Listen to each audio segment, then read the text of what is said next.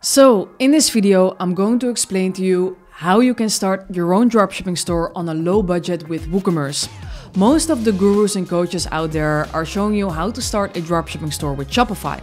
But to me, Shopify is a bit limited and can also become very quick, very expensive. So in this case, we're going to show you how to start a dropshipping store with WooCommerce in a couple of minutes and you can be launching by the end of this video. Now, let's not waste any more time and jump into the video.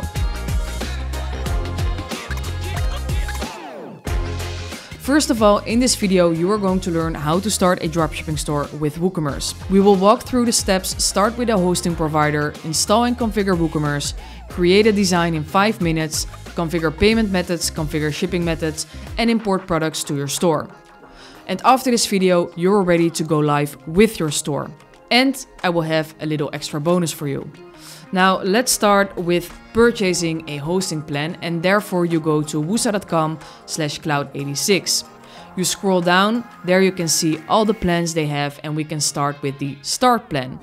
Based on the contract period, you will have certain discounts. But in this case, I will start with monthly because I'm not sure if my dropshipping store will become a success. Then you can register a new domain if you don't have a domain yet, or if you already have registered a domain, you can use your own domain. I will register a new one and I also want to have a .com domain, but if you want to have a local domain, for example .de, .be, .eu, then you can select it in the dropdown. Now let's see if the domain I want is available. Luckily it is and we can add it to the card. Now continue to the next step. There we see again what we have selected for which contract period, and if we want a free migration service.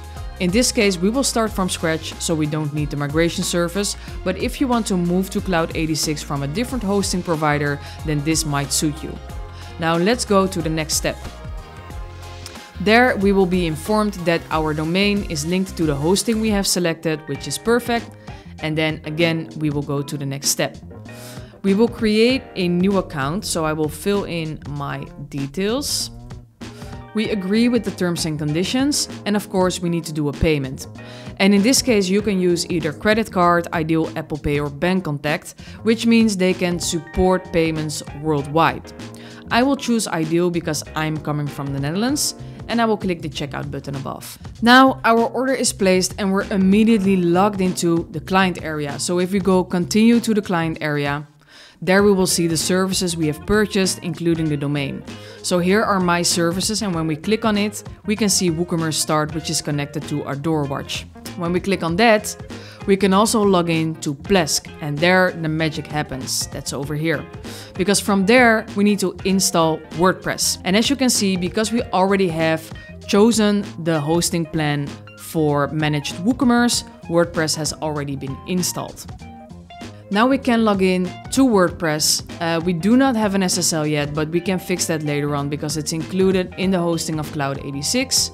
We are now in our WordPress backend with just one click and also WooCommerce is already installed and we can add our products also. So that's really nice. That was just a couple of clicks. I went into Plesk, I clicked on the WordPress icon, I installed WordPress myself and it included directly WooCommerce. So that's very nice. No technical and savvy stuff necessary for this part. So now what we want to do is to design our website and we can do that just in a couple of minutes. Therefore, the first thing we need to do is install plugins. So we go to plugins, click on add new plugin and then search for Elementor. And Elementor is one of the most common page builders used for WordPress websites and WooCommerce stores.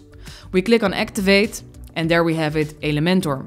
Now the next step we need to do is go to appearance and then go to themes. And there we go to search a new theme, which is called Blocksy. And also here we can install Blocksy for free. Both Elementor and Blocksy are free to use, but if you want to have more functionalities, then of course they have a premium plan.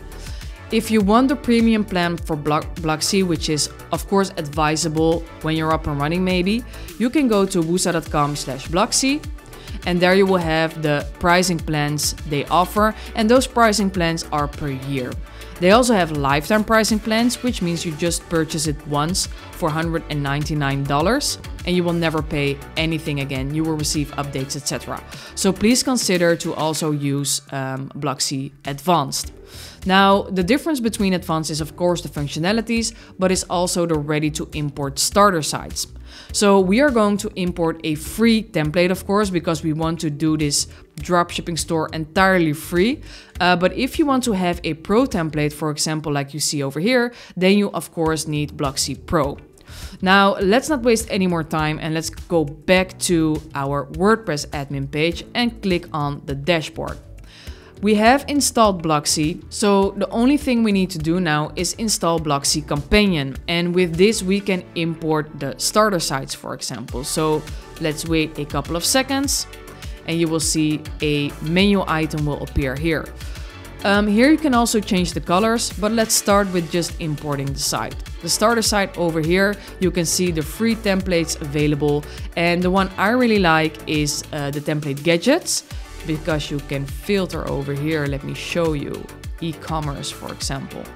And then you see furniture, e-bike, pottery, all common for uh, e-commerce. But the one I really like is gadget um, or is home decor. And you can also preview the templates on a live site to walk through them. So in my case, I want to import um, this one. And then you can choose to also import a child theme, which is a bit of technical, but let's just do it. Let's say you want to hire a developer in the future to do some customizations, then a child theme is very common and very convenient to use. Um, you can choose to use Gutenberg or Elementor page builder. We want to use Elementor. Um, and you can choose if you want to install necessary um, plugins. This, in this case, it's a contact form, which is fine. We can install that. And we of course also want to import the content just to have a reference how it looks like. And we can change it later on when we will work on our design. So now it's going to install and import the starter site. And you will see we will have like an entire design store within minutes. And the only thing then we need to do is to change our colors, add our logo, but that's something very easy and straightforward to do. Kabam, and it's done. And now there's two things we can do. We can customize the site or we can view the site. Let's view the site at first. And then you can see it's entirely imported, the entire template.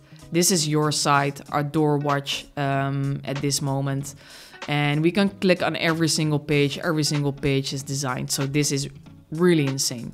Now, we can also customize it, of course, and with customizations, we're talking mainly about the colors you want to use and, of course, the logo. I advise you to have limited adjustments on this part. So you can do that over here with general, you can change the layout, the buttons, um, but also over here you can change the colors. So over here on top you can change the color scheme, uh, the colors you would like to use. Uh, we have the header of course, where we can change the logo. Um, you can upload your own logo um, and you can also change of course uh, the typography. So over here you can change the fonts um, for every single um, thing in your site. If you want to change the actual pages, then of course you will go back to the WordPress admin, you will go to pages, and there, for example, you can say, I want to edit the home page with the Elementor page builder. And there you can make actual changes in content like images, etc. Now, I will not show you that. This is something you should just learn yourself. You can click on literally everything. Let's say Adore watches um, and change it. It's very easy and straightforward. We will jump into that a bit more in another video. For now, let's continue with setting up our dropshipping store. The next step is uh, configure payment methods. So what we want to do, of course, let's go back to the site. We want to um, have the availability to let people pay for the products they want to use. And for that, we need a payment provider. So a payment provider can be added through plugins. So if we go to plugins and we go to add new plugin, there we can uh, search for Stripe, for example and then the Stripe plugin will pop up. WooCommerce Stripe Payment Gateway, which is developed by WooCommerce, um, payment plugins for Stripe, um, but I think this one is the most common one to be used. In my case, I use Mollie, and Mollie is from the Netherlands. um, but it's like the most convenient for the Netherlands. So I will install it right now and I will activate the plugin. I will not configure it now with the API key and stuff, but I can show you at least how to enable payment methods in your checkout. So when we go to WooCommerce and then go to settings, this is common for every single payment provider. We can go to the payments tab and let me first enable the test mode. Key, I will save the changes that will enable um, the Mollie integration and from that point on I can move to payments and I can see the payment methods available for this particular Mollie account. Of course, they have way more payment methods available, but it's depending on the API key. So in this case, I can disable it or I can enable it. And also when I click manage, I can choose uh, how I want to call this payment method and I can also choose where to show it and where to not show it if I want to charge any additional fee, etc. Um, now this payment method is added to our store. So if we go to the store, if we go to products, we will put a product in our cart, go to the cart and proceed to checkout. You will see now that we have payment methods Ideal and Bancontact available. So we can now place an order and um, yeah, everything is done and well to earn some revenue. Now, last but not least, um, we also have shipping methods, of course. And for example, I'm located in the Netherlands. Uh, so I will call the, the zone name Netherlands. And then I can also search for that particular country and select it.